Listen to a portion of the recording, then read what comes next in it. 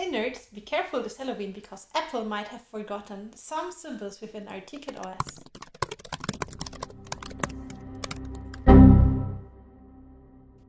Even though you never ever heard about Apple's RTKit OS, it's actually Apple's most widespread operating system. It runs on all the peripherals like the Pencil, but also the AirPods, and as well on the main big devices because even the Apple Watch, the iPhone, and everything you can find out there, it has various chips that run RTKit OS is an embedded operating system, a real-time operating system, which is very, very tiny and has like a little bit of shared functionality like threading, mailboxes, timers, scheduling, all that you need. And then it also has a lot of custom stuff in there. So custom stuff means, for example, it has custom logging, custom core dumping on every of those devices. Also the memory management is a bit different depending on the chip, so it has additions. So not every RTKit OS is the same as another.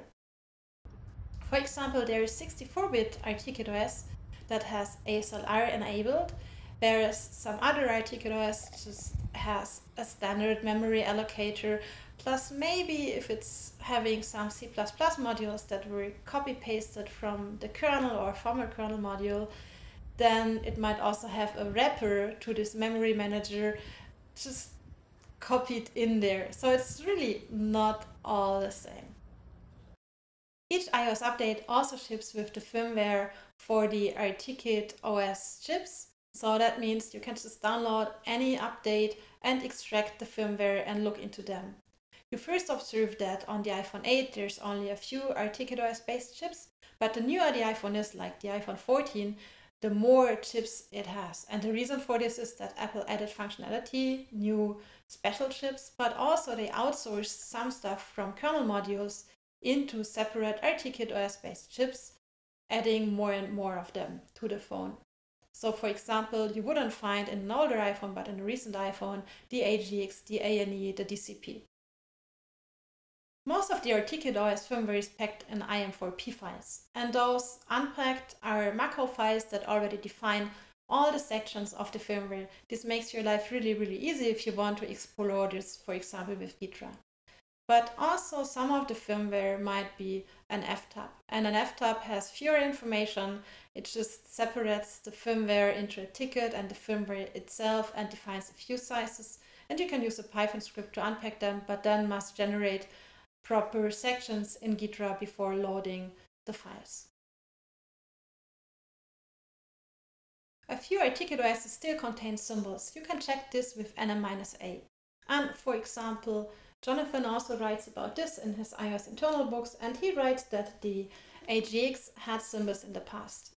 This is no longer the case, so you can actually find this now in the ANE, but you would just find some symbols in some of the versions of iOS and then can diff this to the version that you actually want to look into and the chip that you want to look into and this will help you a lot to start reverse engineering.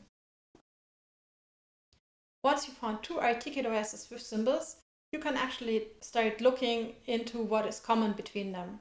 So in my case, the two OSs I found have 132 symbols in common out of these, there are 59 text symbols, 61 section symbols, and 12 data symbols. So not all of them are functions, but then again, some of them might not have exported symbols. So RTKit OS might actually be a bit larger than this.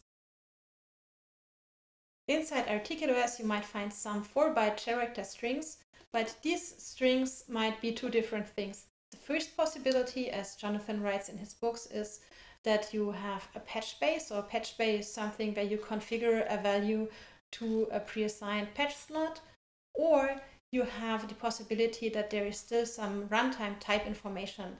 So if the original code was written in C++ and runtime type information was included, then all the vtables would start with a four character string defining the type and then following vtable pointers. But it might not always be the case, so sometimes you have C++ code, but it would just be four zeros at the beginning of the vtable.